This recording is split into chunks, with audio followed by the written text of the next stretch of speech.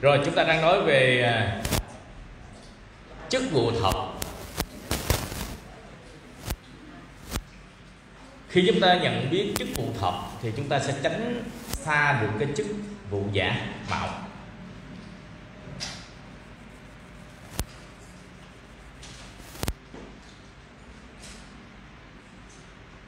Để trở thành một người lãnh đạo mà thật á là cái người đó phải trải qua những cái quá trình ở trong đời sống của mình. Đó là người đó phải thánh khiết. Tại vì tôi và anh chị em đang hầu việc một đức có trời thánh khiết, thì chúng ta phải thánh khiết mới có thể đẹp lòng chúa. Đức Chúa Trời đấng kỵ tà. Ngài là đấng đã biệt riêng chúng ta Để chúng ta trở thành người hầu vị Chúa. Như đó chúng ta đang phục vụ cho một Đức Chúa Trời thánh khiết, Thì tôi và anh chị em Cần phải có những sự thay đổi Ở trong đời sống của mình.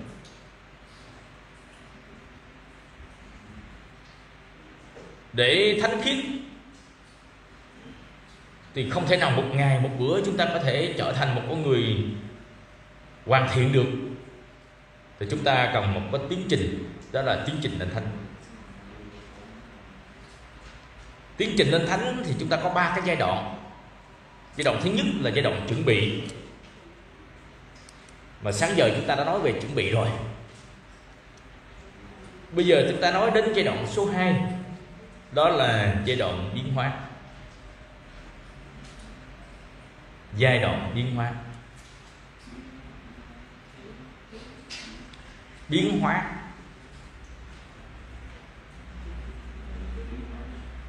sau khi được tái sanh và được biến đổi từ bên trong, người con cái Chúa bắt đầu có cái xu hướng về Chúa và nước của Ngài.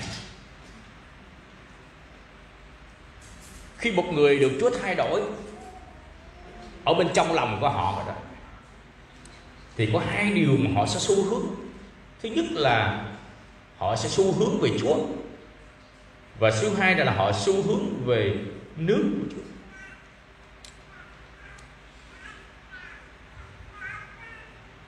Chúng ta đọc ở trong Matthew đoạn 6 câu 33 cho đó là nhưng trước hết hãy tìm nước Đức Chúa Trời và sự công bình của Ngài thì Ngài sẽ ban cho các ngươi mọi điều ấy nữa. Ở trong Colosse, đoạn 3 từ câu 1 đến câu số 4 Colosse đoạn 3 từ câu 1 đến câu số 14 câu số 4 như thế này. Vậy nếu anh em có sự sống lại với Đức Christ, thì hãy thì hãy tìm các sự ở trên trời. Là nơi đấng Christ ngồi bên hữu Đức Chúa Trời. Hãy ham mến cái sự ở trên trời đừng ham mến các sự dưới đất. Vì anh em đã chết, sự sống mình đã giấu với đấng Christ trong Đức Chúa Trời. Khi nào đấng Christ là sự sống của anh em, sẽ hiện ra. Bây giờ anh em sẽ hiện ra với ngài trong sự vinh hiển.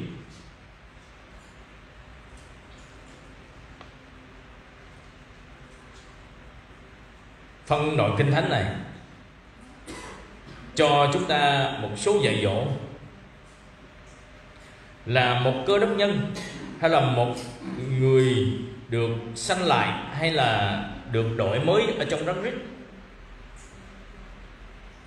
thì người đó sẽ tìm kiếm cái điều gì và ham mến cái điều gì.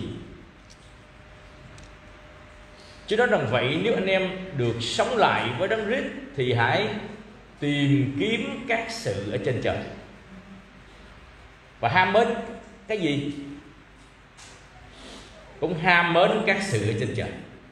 Tìm kiếm và ham mến những gì thuộc về trời. Là người sống ở đất. Là người lo ăn uống. Là người làm lụng vất vả, làm tất cả mọi sự ở trần gian này. Nhưng cái xu hướng của chúng ta lại hướng về trời. Chúng ta thấy người không tin chúa, họ xu hướng về cái gì? Xu hướng về thế gian xu hướng thế gian là xu hướng cái gì?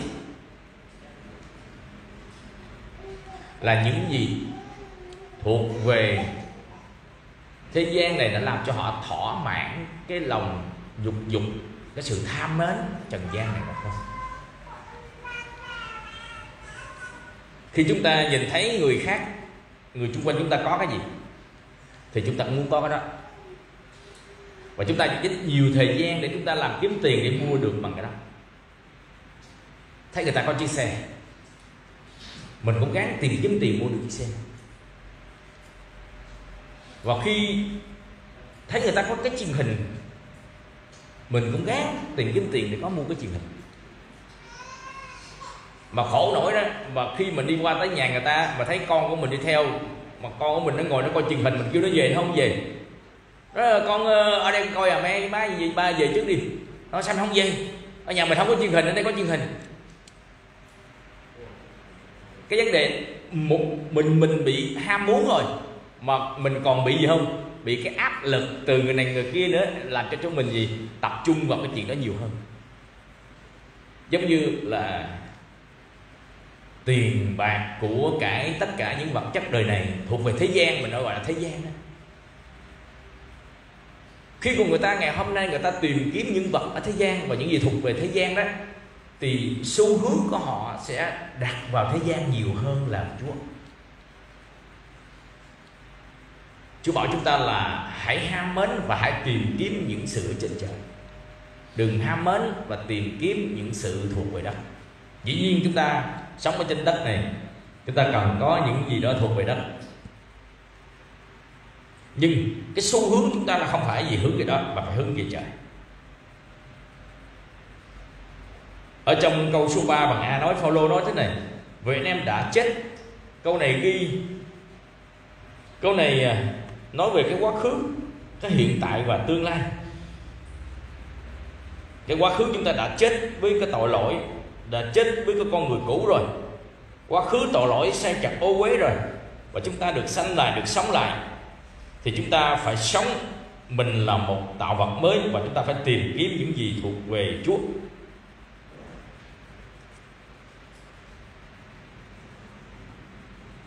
Tôi và anh chị em cần tìm kiếm những sự ở trên trời. Là sao? Và tìm uh, ham mến những sự ở trên trời là sao? Chúng ta thấy sự cái sự khác nhau giữa một cái cơ đốc nhân và có xu hướng về đất và một cơ đốc nhân có xu hướng về trời. Nó khác nhau hoàn toàn. Một cơ đốc nhân xu hướng về trời là những gì thuộc về trời thì họ luôn nghĩ đến cơ đốc nhân có xu hướng về đất là những gì thuộc về đất là họ luôn nghĩ đến. Cơ đốc nhân thuộc về trời là họ sẽ dành nhiều thời gian đầu tư cho trời. Thậm chí họ đầu tư tiền bạc của cải sức lực, thời gian cái tuổi xuân của họ cho trời. Cơ đốc nhân thuộc về đất là họ đầu tư cho những gì thuộc về đất họ dành thời gian, họ tiền bạc, họ dành tất cả mọi gì tiền này thuộc về đất, cho đất mà thôi. Cơ đốc nhân họ đầu tư về trời, họ không bao giờ có suy nghĩ rằng họ sẽ nhận phần thưởng của đất. Họ nghĩ rằng họ sẽ được nhận phần thưởng từ trời. Cơ đốc nhân thuộc về đất thì lúc nào họ sẽ nghĩ về vấn đề gì? Phần thưởng thuộc về đất. Dầu rằng họ đang đầu tư cho trời nhưng mà họ chỉ muốn được đất ban thưởng cho họ thôi. Cơ đốc nhân đầu tư về trời đó thì họ không bao giờ buồn giận ganh tị hay là phiền muộn gì ai hết. Họ không bao giờ à, là cảm thấy à, bị mất mát hay bị tổn thương mỗi khi họ đầu tư về trời. Còn khi cơ đốc nhân thuộc về đất là sao? Khi họ đầu tư bất cứ gì cho trời á, thì họ lại gì không? Họ lại muốn tìm một cái quyền lợi nào đó ở trần gian này. Sự khác nhau hoàn toàn anh chị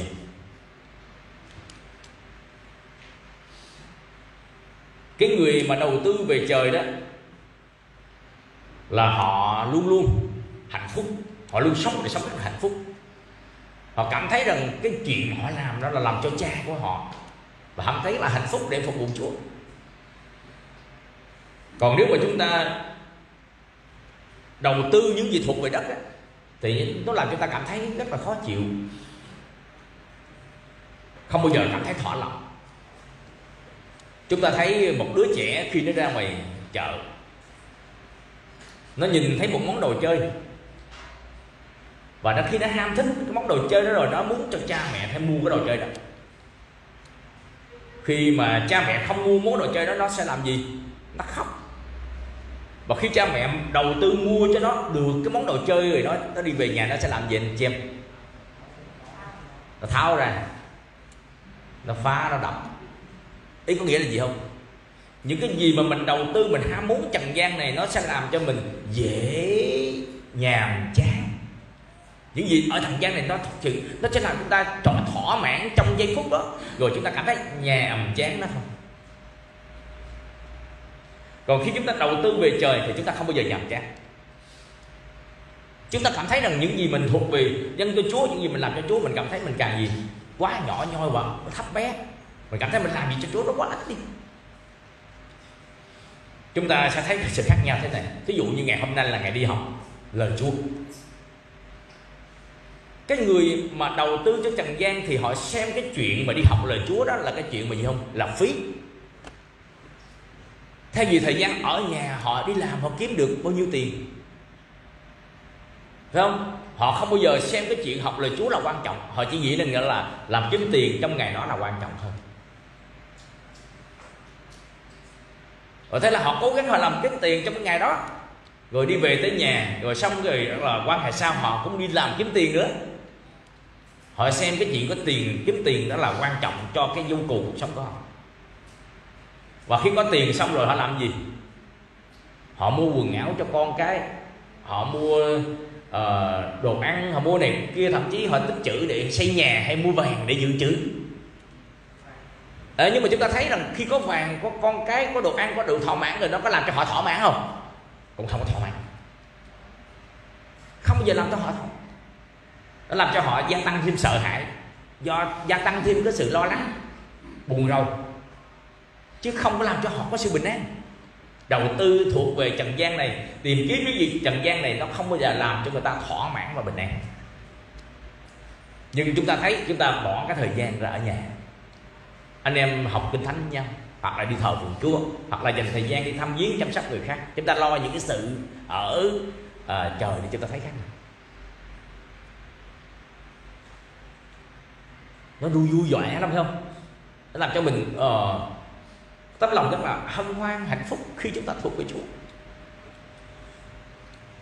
Bởi vì chúng ta thấy cái sự khác nhau hoàn toàn giữa cái người tìm kiếm những vật chất đời này và tìm kiếm những gì thuộc về trời nó khác nhau hoàn toàn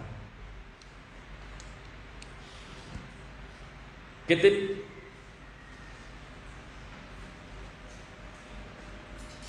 Đức Thánh Linh bắt đầu giúp đỡ cho con cái Chúa từ bỏ người cũ bằng cách là xử lý xác thịt. Giai đoạn biến hóa. Đó là giai đoạn đức thánh linh sẽ giúp chúng ta từ bỏ con người cũ bằng cách là xử lý xác thịt. Thứ nhất ở trong cái phần này, kinh thánh bày tỏ xác thịt là công việc. Nó đối với đa số tín hữu mới và hầu hết người chưa tin Chúa. Xác thịt là một phần không thể tách rời, không thể bị từ chối của đời sống.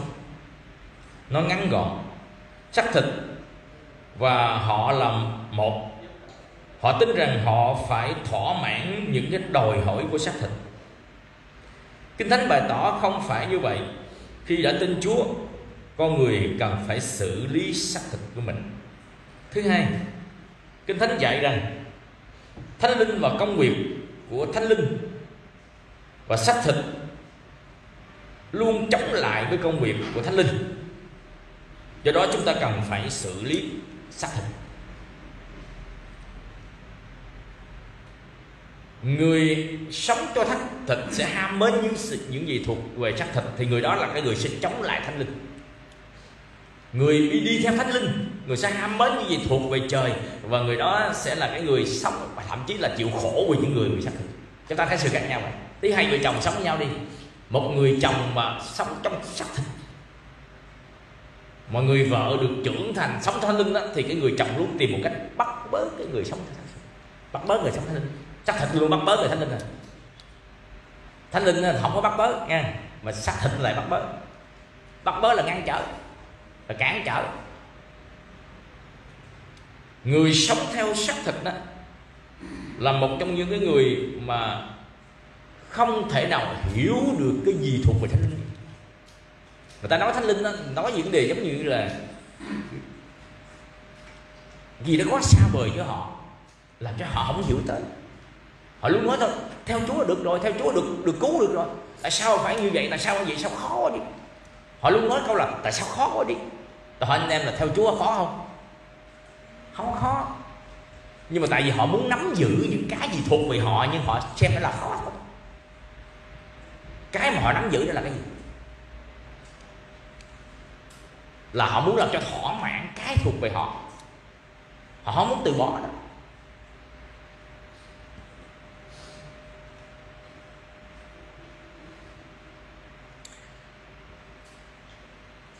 kế tiếp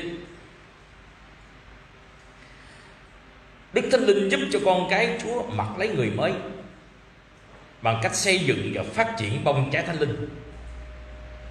Lòng ảo ước được mang bông trái thuộc linh và tinh thần kiên quyết để thực hiện lòng ao ước, thể hiện lòng yêu mến Chúa của con cái Chúa.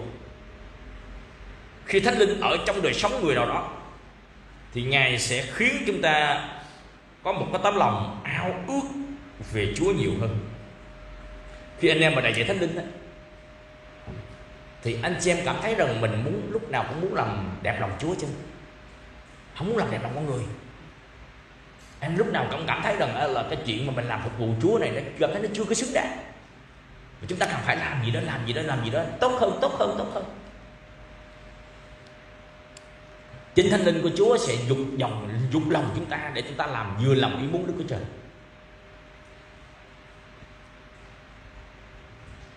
Kế tiếp, hai cái quá trình xử lý người cũ và người mới thường đi song song. Dầu xử lý cái người cũ thường đi trước một bước.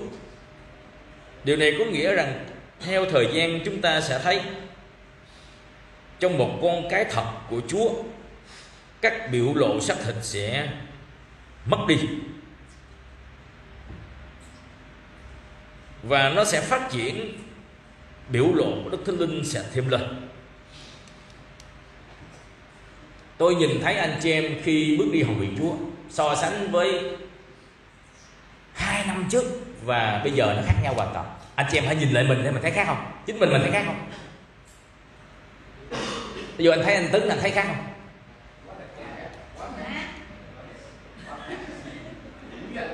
Mà tao nói là thí dụ là chú hai là thấy khác không?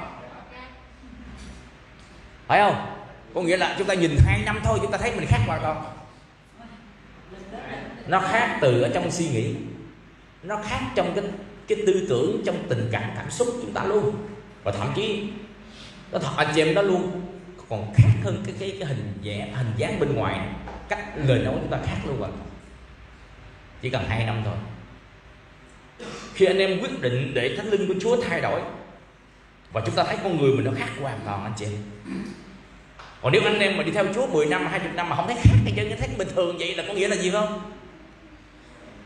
Có nghĩa anh không có chịu thay đổi, là còn trong sách hết nhiều quá.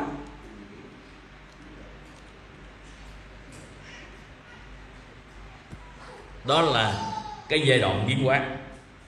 Giai đoạn biến hóa này là một cái giai đoạn nó mang tính chất là cũng đau đớn lắm đấy chú thấy con, cái trứng gà được nằm ở trong cái trứng không? Là lấy giai đoạn mà, giai đoạn một là cái giai đoạn là cái chồng đỏ, thấy không? Nó có hình thành cái phôi. Rồi cái phôi qua thời gian cái đầu là nó có một cái đứa con nhỏ nhỏ. Đứa con nhỏ nhỏ thôi. Rồi nó lớn lên, nó lớn lên nhưng mà nó vẫn còn nằm trong cái trứng. Cái giai đoạn biến hóa này là giai đoạn gì phải không?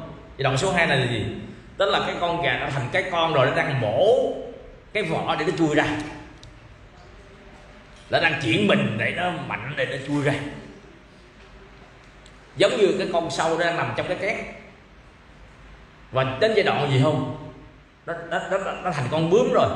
Nhưng mà để thành con bướm nó làm gì? Nó phải vùng vẫy, nó phải dương càng dương cánh dương chân nó ra để nó chui cho bằng được ra khỏi cái két. Giống như con gà con gà nó phải làm một cái chui ra khỏi cái vỏ.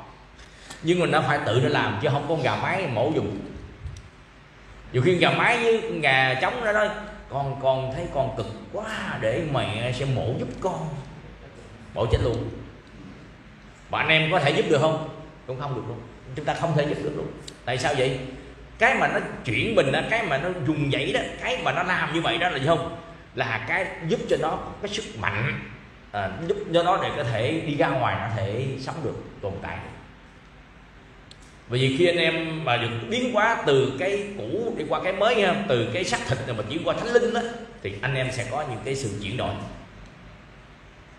Và Chúa cho phép những cái khó khăn những cái nan đề những cái áp lực và người này người kia nói này nói kia anh chị em thậm chí có những người thì gặp ờ, là bắt bớ gặp thiếu thốn rồi ờ, gặp cái chuyện đó người ta coi thường người ta du khống người ta sỉ nhục mình đủ cho hết. Thậm chí rồi anh em phải bị kỷ luật đấy vì người này kỷ luật người kia kỷ luật làm cho đâu mình làm tới đâu sao bị chấm dắt tới đó mình làm tới đâu thì hư bổ, hư đường tới đó. Đó là giai đoạn là giai đoạn mà chuyển đổi biến hay là giai đoạn từ con gà mà chui ra khỏi cái cái cái vỏ của nó. Rồi, bây giờ chúng ta sẽ nói đến cái phần số 3 đó là giai đoạn trưởng thành. Trong giai đoạn này, người có các cái chúa trưởng thành thuộc linh, dầu họ không hoàn hảo, họ có thể còn những cái dấu vết của xác thịt. Họ có thể mắc lỗi lầm nào đó.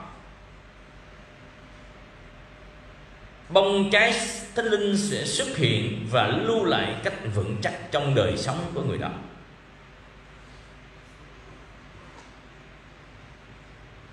Giai đoạn trưởng thành là giai đoạn mà đức chúa trời và cơ đốc nhân sẽ cùng hay là chúa sẽ cùng ở trong chúng ta, giúp chúng ta trở nên hoàn thiện, nên thánh hơn.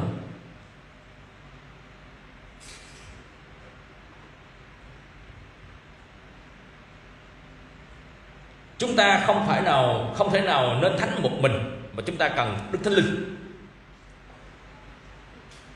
Một mình một người chúng ta không thể nào tự nên thánh được. Chúng ta phải cần thánh linh giúp đỡ chúng ta. Khi chúng ta vâng lời Chúa, đầu phục Chúa, thì cái tiến trình nên thánh nó sẽ tốt hơn. Nhưng mà anh chị em biết có những cái sự ngăn trở nó đến làm cho cái tiến trình lên thánh nó chậm lại. Cái giai đoạn trưởng thành, có lúc anh chị em cũng còn có những cái sự vấp phát có những cái sự sai trật nhưng những cái sự vấp phát những sai trật đó đó, nó không phải là giai đoạn anh em còn sống trong đời sống tội lỗi ở ngoài. Chúng ta sẽ được thánh linh luôn luôn cáo trách chúng ta mỗi ngày. Gọi là anh em làm sai chút xíu gì đó, bị cáo trách trong tâm lòng của mình anh em cảm thấy rất là khó chịu, thậm chí mất ngủ về cái sai lầm của mình chút xíu thôi. Ví dụ anh em đi, chiều đó con mình nó có sai gì đó, anh em la gầy đó nhưng trong lúc mình la gầy đó, hình như là mình la gầy hơi quá. Thì tối là anh em cảm thấy hình như có một gì đó làm cho mình bị cáo trách làm như là mình có một cái lỗi gì đó đứa con của mình. Thì cái giai đoạn đó là giai đoạn gì? Thánh linh của chúa giúp chúng ta được trưởng thành hơn thí dụ chúng ta làm một điều gì đó đối với sai cha mẹ mình đi. Trước đây anh em chưa trưởng thành, anh em cảm thấy cái chuyện đó bình thường. Thậm chí mình không nhận ra mình sai. Nhưng khi anh em được trưởng thành rồi, anh em khi làm có điều gì đó sai cha mẹ mà chúng ta có bị cáo trách liền và cái người vâng lời là sao? Cái người vâng lời thánh linh, khi đó thánh linh cáo trách họ, thì họ sẽ làm theo sự chạy dẫn thánh linh. Đó là gì? Họ sẽ gặp người đó xin lỗi.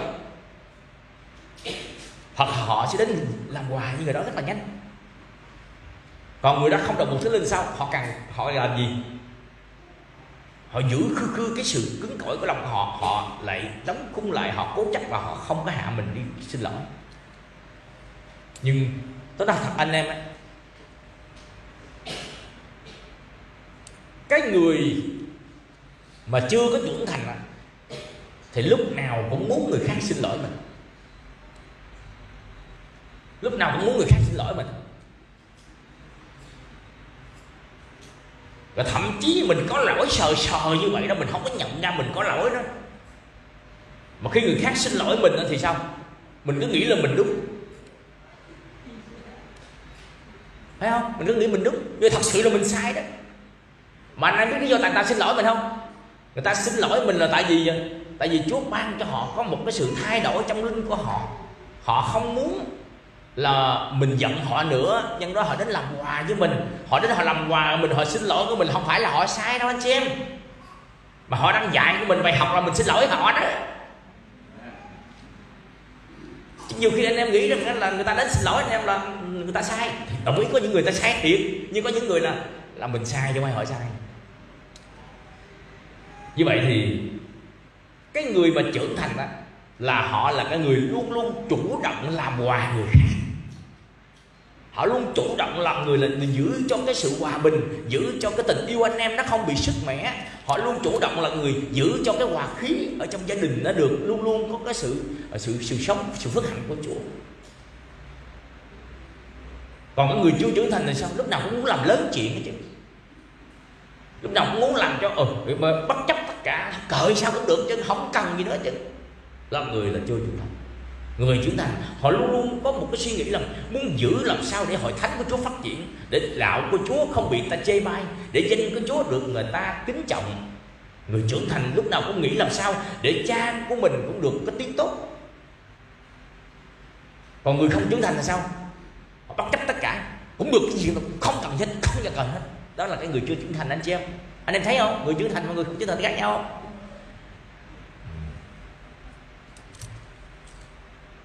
Cái vai trò của Đức Chúa Trời ở trong tấm lòng của chúng ta. Và Thánh Linh của Chúa ngự trong chúng ta để giúp chúng ta sẽ uh, nên thánh một cách tốt nhất. Lời của Đức Chúa Trời sẽ thấm nhuần ở trong chúng ta để cho tôi và anh chị em sẽ uh, được trưởng thành hơn. Sự vân phục cơ đốc nhân trong tiến trình nơi, nơi Chúa rất là cần thiết. Khi Chúa bày tỏ Ngài khi Chúa bày tỏ lời của Ngài cho chúng ta điều mà Chúa muốn tôi và anh chị em là gì? Hãy thuận phục hãy vân phục lời Chúa. Cái người trưởng thành đó là người khi họ luôn luôn họ luôn luôn đặt lời Chúa họ đặt ý muốn của Chúa là là là quan trọng nhất. Họ luôn luôn làm theo ý muốn của Chúa thôi.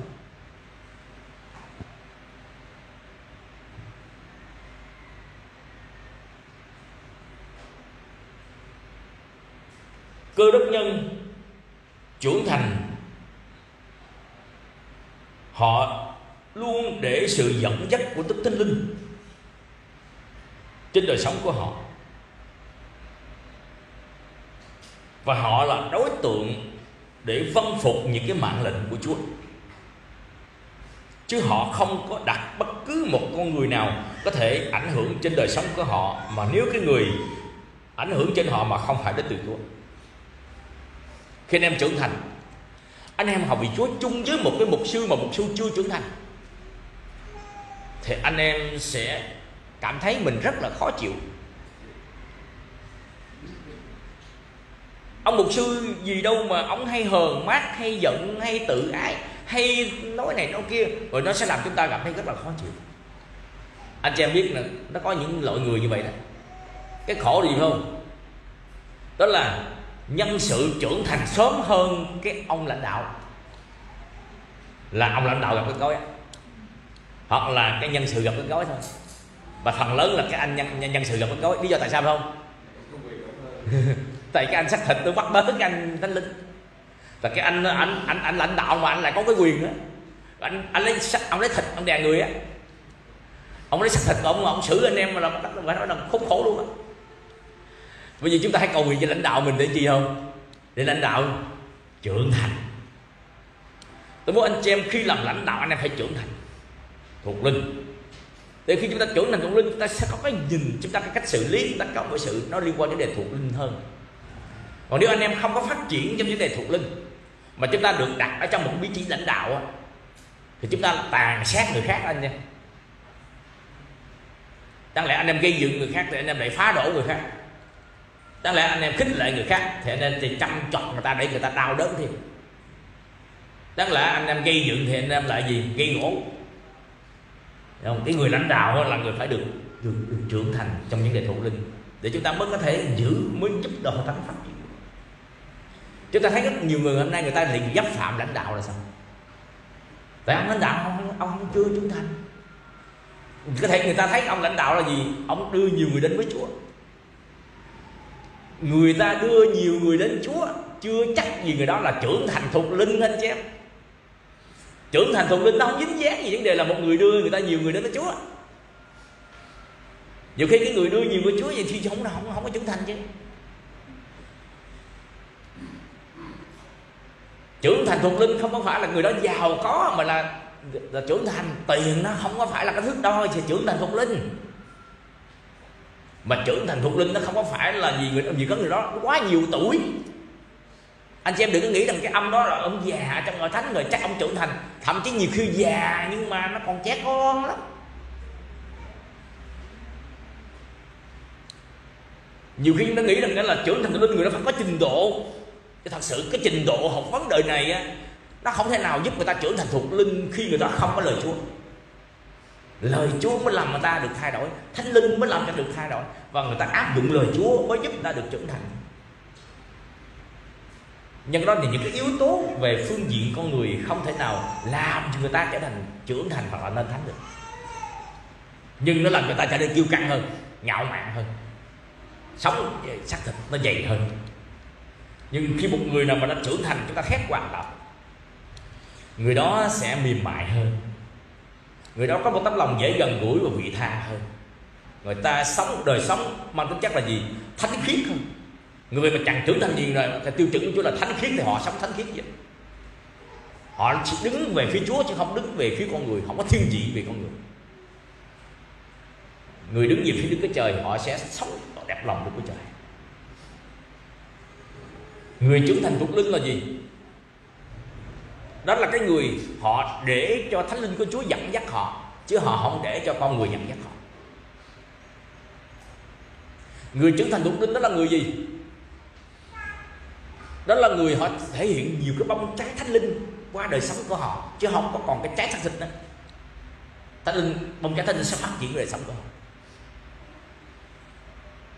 Người trưởng thành thuộc linh, đó là người họ sẽ có một cái sức hút đối với nhiều cái người khác, anh em thấy người trưởng thành thuộc linh lại có một cái sức hút với nhiều người khác. Tại sao vậy? Tại vì cái sự hấp dẫn thánh linh của chúa tác động trên nhiều người. Và họ không cần nói nhiều, người ta cũng thích đến gần những người đó. Đó là cái người trưởng thành thuộc linh anh chị em cần phải vươn lên để trở thành người thành công. Mà muốn trở thành người thành công là anh em phải gì? Là nên thánh. Mà nên thánh, anh em phải trải qua ba cái giai đoạn. Giai đoạn thứ nhất là giai đoạn chuẩn bị giai đoạn thứ hai là giai đoạn gì? Biến hóa. Và giai đoạn thứ ba là gì? Là trưởng thành. Anh em thấy khi con bướm mà nó trưởng thành, nó thoát khỏi khỏi cái vỏ kén đi, thì nó sẽ đi bay ra ngoài, phải không? Nó sẽ đi hút mật hoặc là nó đi thụ ờ, phấn cho bông hoa này, bông hoa kia. Thậm chí nó bay nó làm cho cái vẻ đẹp của mùa xuân đến thì mùa xuân có bướm thì nó đẹp lắm trước đây nó là con sâu, đi tới đâu người ta ghét. Phải không? Giống như vợ tôi trồng cái cây may mà mỗi lần có sâu, mỗi lần nó xịt suốt luôn á. Xịt thuốc suốt mà con sâu đi tới đâu người ta sợ tới đó. Thấy không? Đi tới đâu là người ta phá làng, phá láng sân trước đây anh bà chuyên tin chúa là con sâu.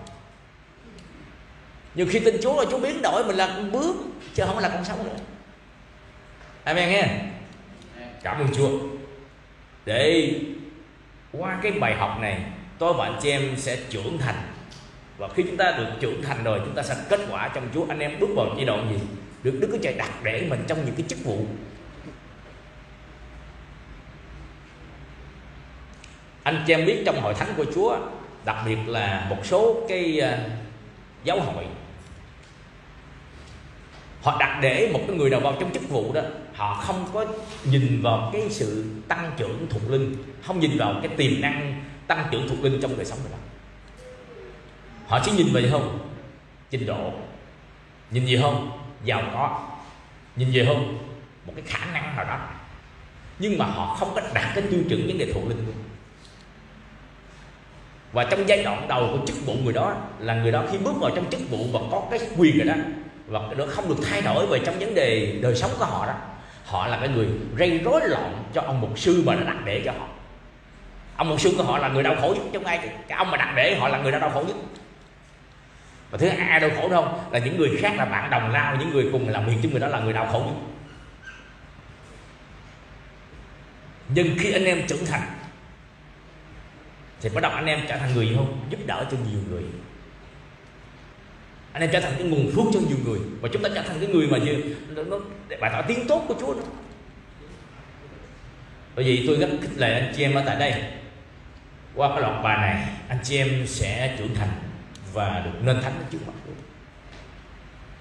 chúng ta hồng vì Chúa không còn buồn giận không còn tự ái không còn than phiền nữa. Và chúng ta cảm thấy giống như gì, gì làm vì Chúa là một cái gì đó mình yêu thích nhất. Mình cảm thấy mình hạnh phúc nhất cũng một thầy ấy, ngày hôm nay chúng ta hầu việc Chúa và chúng ta so sánh ngày xưa mình chưa tin Chúa, mình học, mình phục vụ thần tượng như thế nào. Sáng thức dậy, anh em có một số người phải gõ mỏ tụng kinh. Tối ngủ phải gõ mỏ tụng kinh. Rồi phải mua nhang, phải mua bông hoa trà quả. Rồi phải làm đủ mọi hình thức để phục vụ cho cái tượng mà cái tượng cái tượng câm câm điếc, què hoặc không đấu được cái gì vậy mà mình phục vụ gì không? Phục vụ một cách gọi là sốt sắng và thành khẩn gọi là là ghiền nữa kính kiên nữa, ghiền phục vụ chứ đó. Nhưng bây giờ anh em bỏ cái đó, anh em chuyển qua để phục vụ cho một đứa cái trời hàng sống. Anh em có làm được như ngày xưa không? Phải làm hơn chứ đừng tệ hơn nha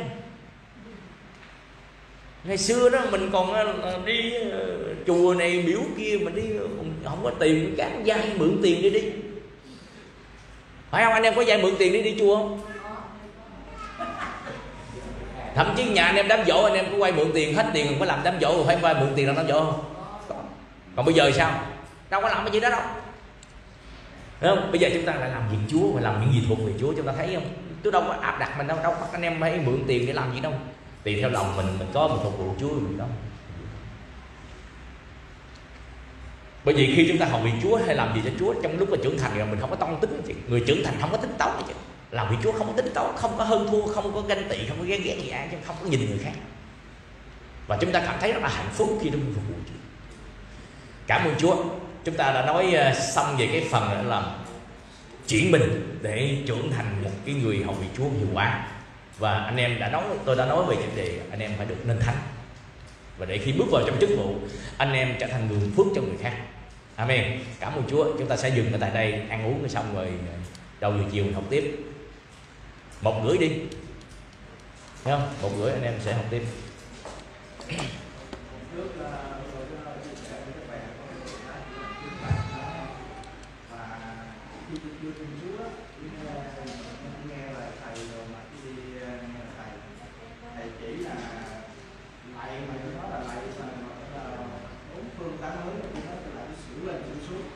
gan lại